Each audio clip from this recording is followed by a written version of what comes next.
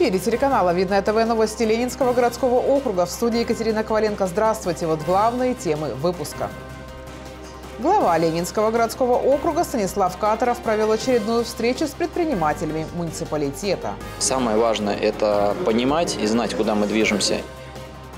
На одном льду со звездами спорта в Мисайлово жители округа сразились в матче с легендами хоккея.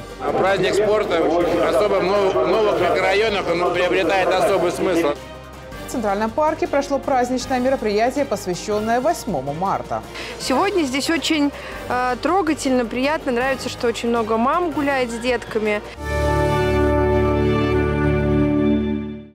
Реконструкция дорог и организация движения транспорта в северной промзоне города Видное. Такой стала главная тема, которую обсудили на очередном бизнес-завтраке. Глава Ленинского округа Станислав Катаров провел встречу с предпринимателями в формате круглого стола. Подробности узнал Максим Козлов. Более 70 различных предприятий работают на территории северной промышленной зоны города Видное. На одной из первых встреч предприниматели обратились к главе Ленинского городского округа Станиславу Катарову с просьбой помочь в ремонте дорог промзоны. На очередном бизнес-завтраке масштабный проект развития дорожной сети представил начальник профильного управления администрации муниципалитета Андрей Пальтов. Что мы предлагаем? Первое – это ремонт автомобильных дорог уширение дорожно-тропиночной сети, создание парковочного, создание парковочного пространства, плюс установка, установка освещения. При составлении проектно-сметной документации по ремонту автомобильных дорог мы учитывали несколько, несколько показателей. Самый главный показатель – это э, качество асфальта. Через промышленную зону проходят четыре дороги общей площадью 36 тысяч квадратных метров. И уже сейчас, на этапе первоначального планирования, стоимость работ оценивается в довольно внушительную сумму. Целиком а, весь проект в 300 миллионов рублей мы сейчас в один год точно не потянем. Либо тогда его придется делить на, несколько лет и делать этапами. А, либо, соответственно, можно попробовать предприятиям промышленной зоны нашей а, поучаствовать в создании такой комфортной среды для себя. Схема совместного финансирования строительства различных объектов широко используется в работе администрации округа. Достаточно вспомнить инициативное бюджетирование, когда местные жители принимают финансовое участие в возведении различных социальных объектов. К тому же предприниматели смогут вносить свои изменения в проект, что также было озвучено на встрече. Это отправить непосредственно предпринимателям, для того, чтобы они могли все это посмотреть еще раз, убедиться, э, подходит им это или нет, может быть, внести какие-то корректировки. Мы получим обратную связь от, э, от вас, от предпринимателей, внесем эти коррективы. Глава Ленинского городского округа Станислав Катаров – частый гость на предприятиях округа, что позволяет быть в курсе вопросов и проблем, с которыми сталкиваются предприниматели. Он уверен, что идея совместного финансирования проекта найдет поддержку среди бизнес-сообщества. Те предприятия, с которыми мы общались э, персонально, э, выражали свою готовность участвовать или э, просили хотя бы дать возможность сделать им это рядом с собой. Поэтому я уверен, что поддержку предприятий в, это, в реализации этого проекта мы получим. Самое важное – это понимать и знать, куда мы движемся. И второе – это включаться в общее движение и действовать сообща, и тогда нас ждет успех. Планируется, что проектно-изыскательные работы начнутся в ближайшие месяцы. Максим Козлов, Александр Логинов, Гульнара Балаева. Видное ТВ.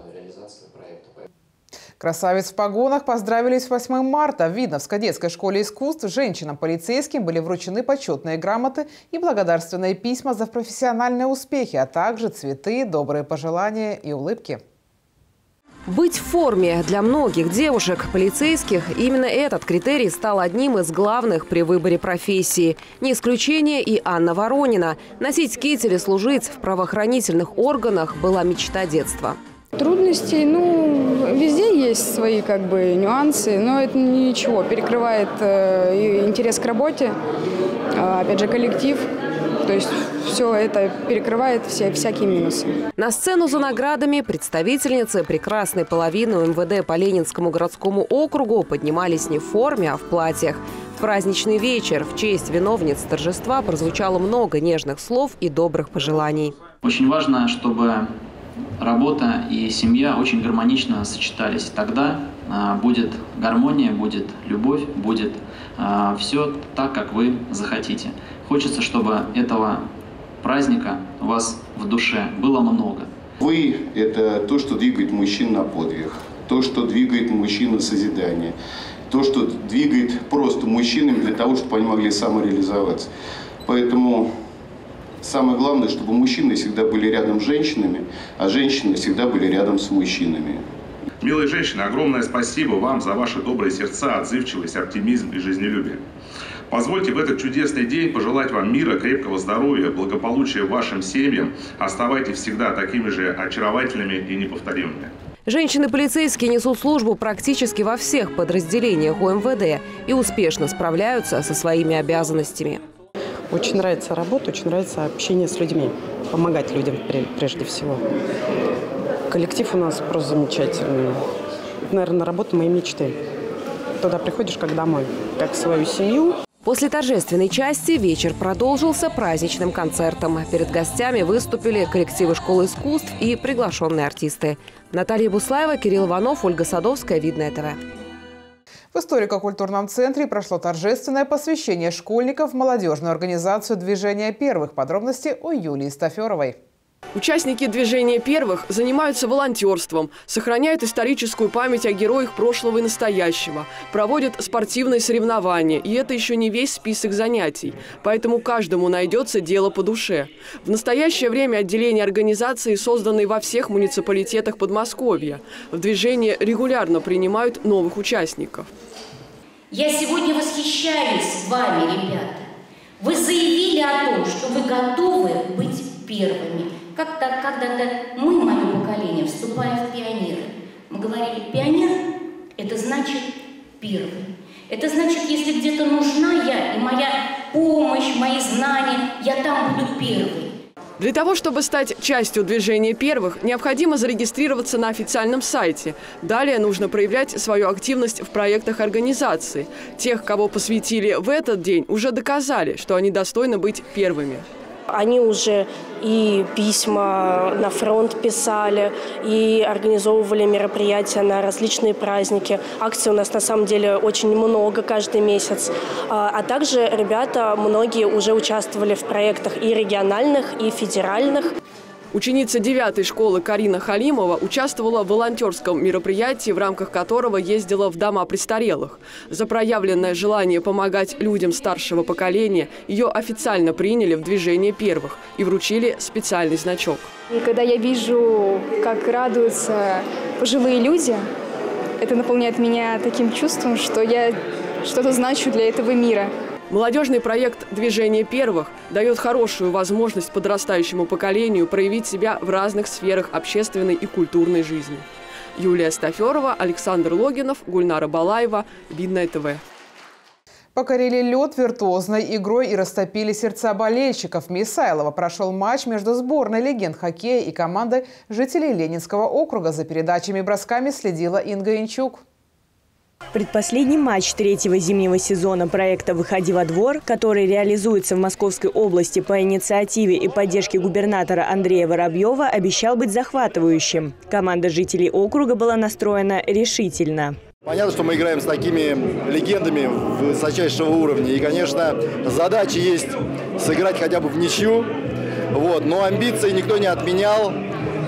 Да, постараемся, конечно, выиграть. Мы всегда нацелены на победу, но в хоккее бывают разные ситуации. Можно проиграть, можно выиграть. Главное сделать максимум. Соперники легендарные. Это очень здорово, когда получается встретиться с ними на одной площадке. Капитаном команды жителей стал глава Ленинского городского округа Станислав Катаров. Он отметил, серия таких игр позволяет подрастающему поколению попробовать свои силы в игре с чемпионами.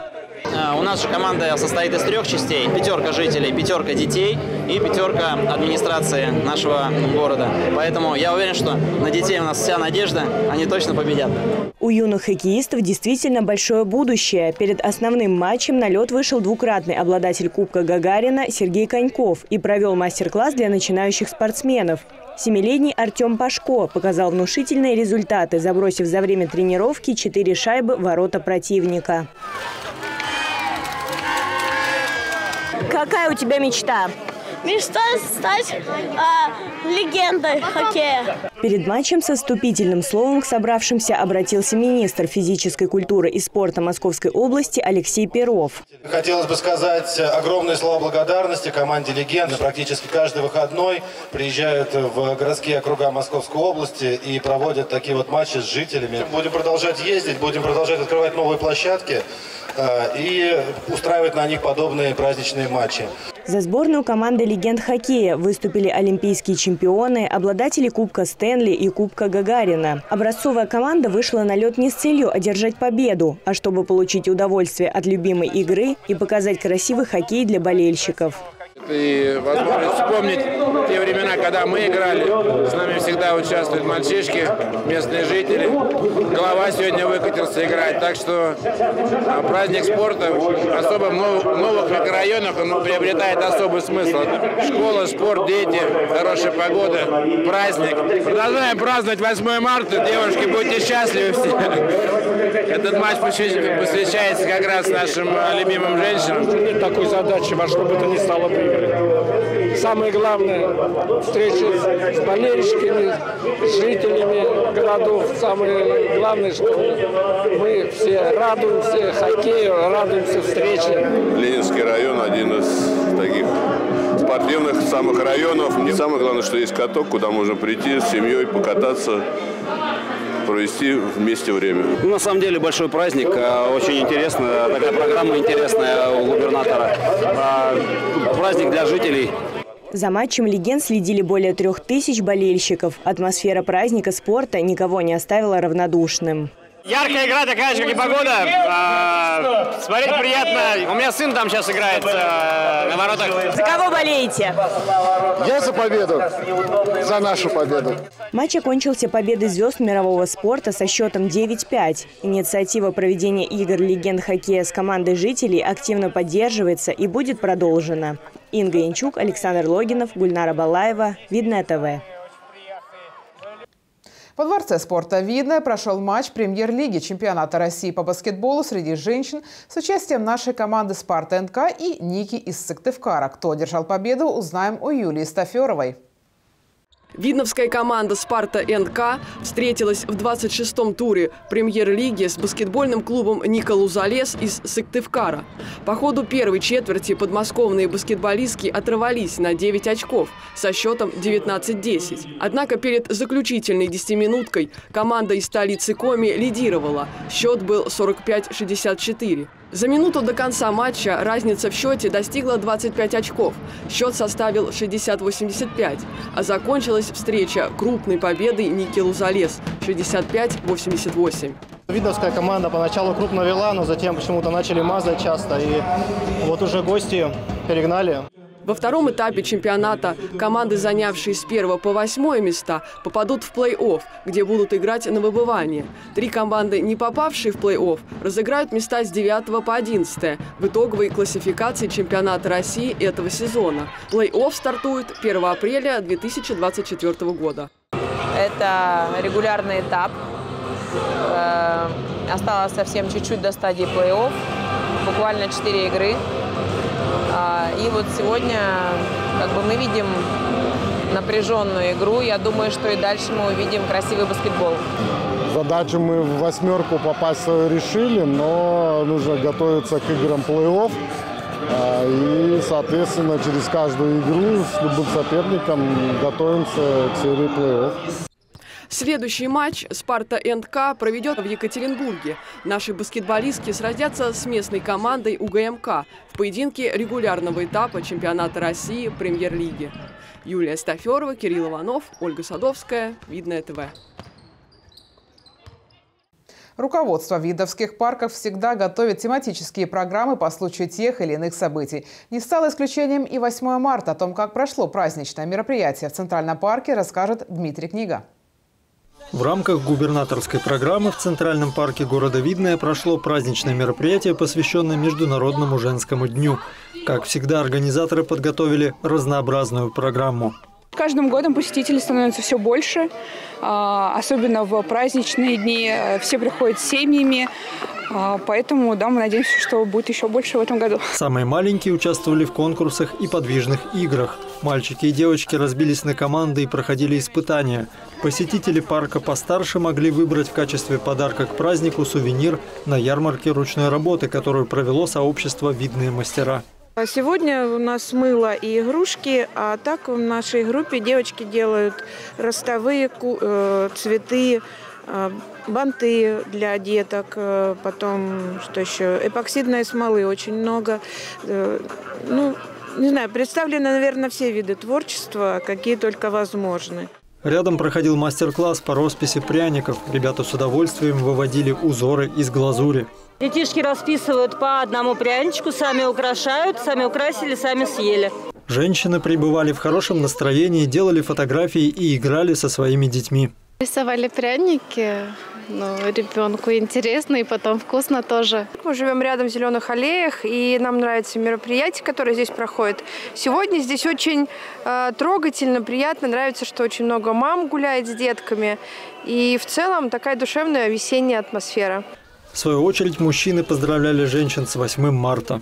Желаем радовать нас, мужчин, э, своим вниманием, заботой, любовью, оставаться такими же прекрасными и наполнять красотой и любовью. Моя жена, моя дочка.